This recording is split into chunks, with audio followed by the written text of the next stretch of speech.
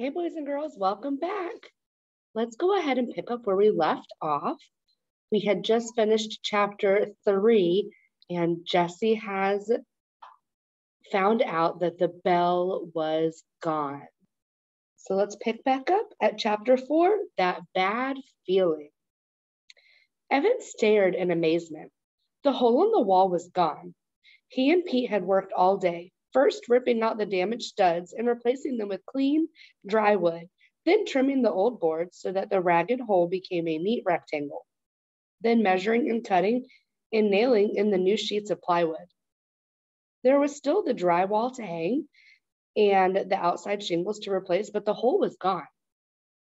Evan had never felt such a sense of accomplishment in his life, not even when he and Jesse had won the Labor Day poster contest at the end of summer. Now he was sweeping up the sawdust that lay as thick as carpet under his feet. Pete said no carpenter worth his salt leaves a mess behind at the end of the day.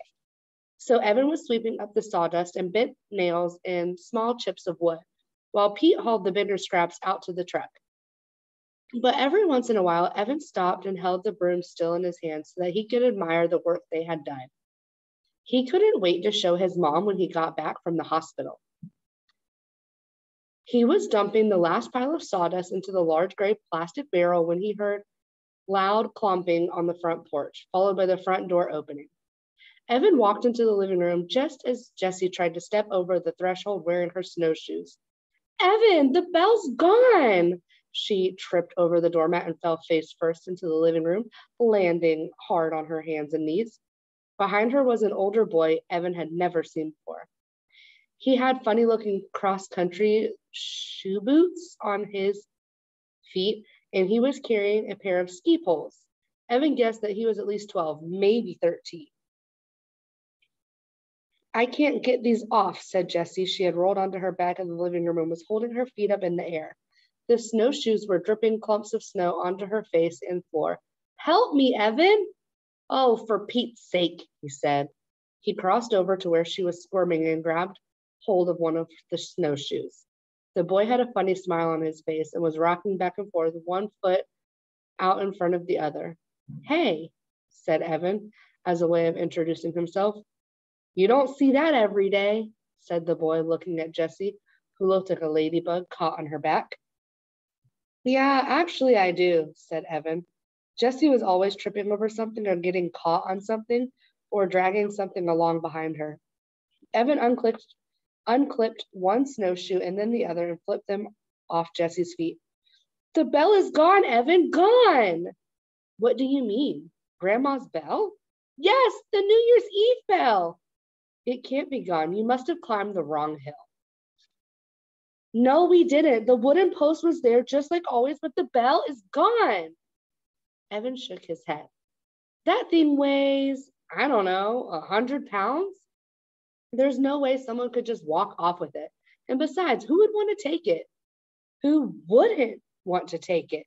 Jessie asked, bouncing from one foot to the other. It's an antique and it's famous. It's not famous, Jessie, said Evan, shaking his head.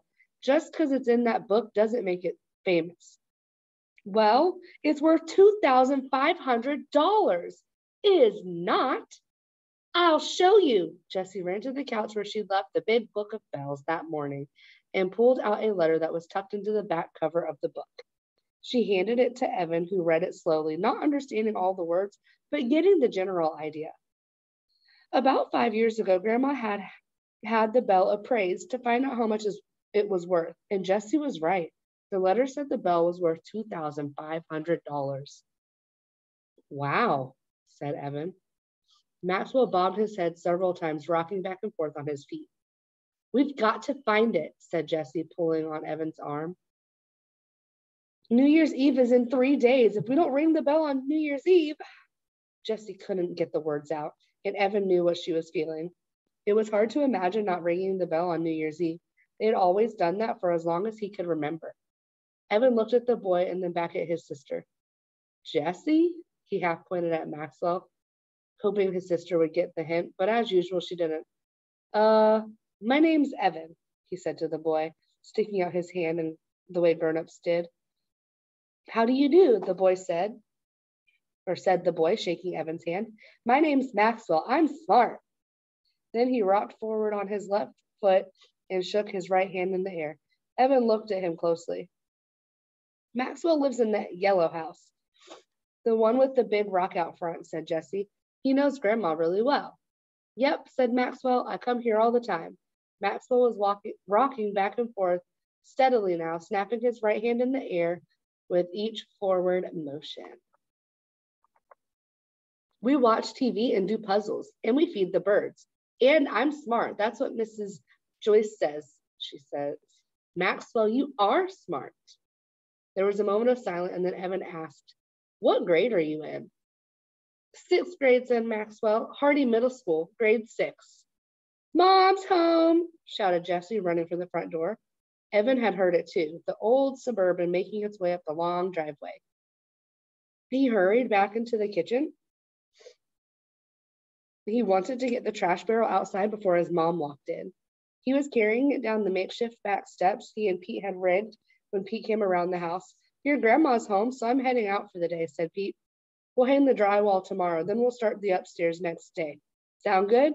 Yeah, sure, said Evan. He wanted to sound casual about it so Pete wouldn't think he, this was the first construction job he's ever done, but he couldn't keep the eagerness out of his voice.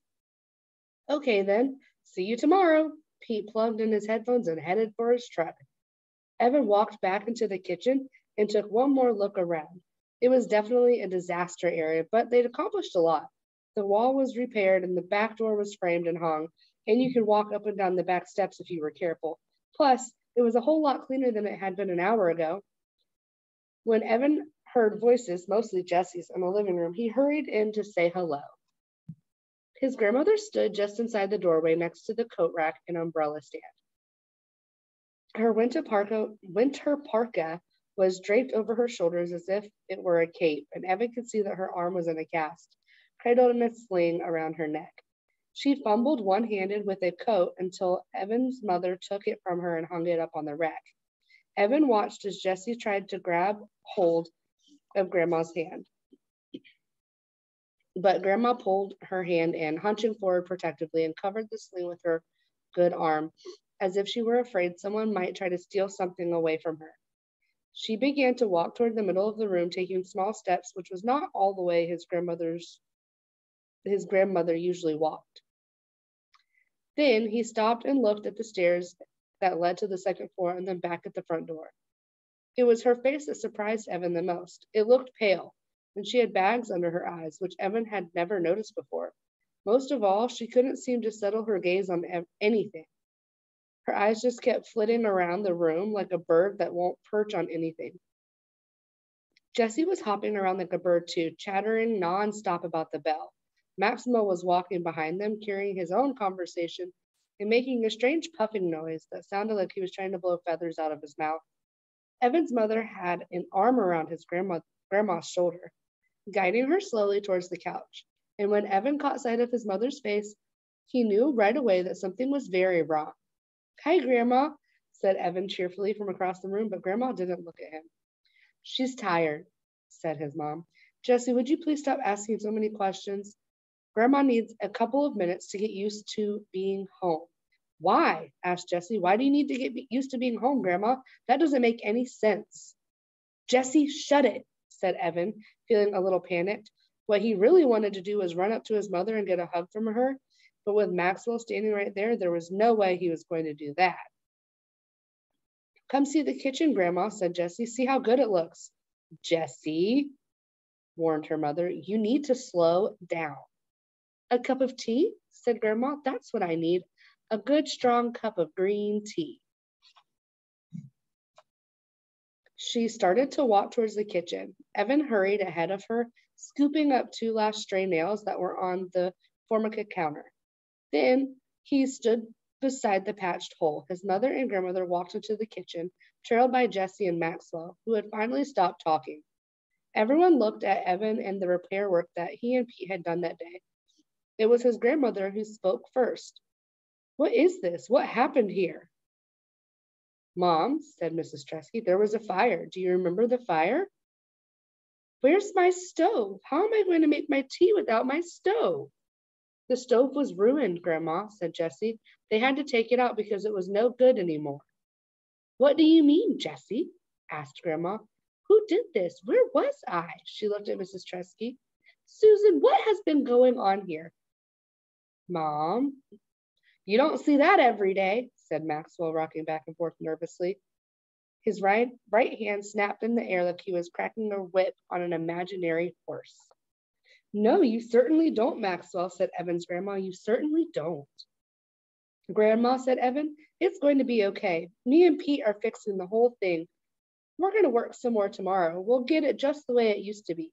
Evan can feel that bad feeling rising up in him. The feeling he got just before taking a test, the feeling he sometimes got late at night when the house was too quiet and too dark, and he wished his dad had never left. For the first time that afternoon, Evan's grandmother looked right at him. She peered sharply at his face and then looked him over once, from top to bottom. She turned to Evan's mom. Who is that boy? she asked angrily. Did he do this to my kitchen? Mom, said Mrs. Treski, it's Evan, your grandson. Evan's grandmother shook her head. I don't know him. Make him go away. Wow, it seems like a lot is happening from this chapter. At this time, go ahead and complete today's activities that go along with the chapters we've read. Don't forget to stop and jot as you're reading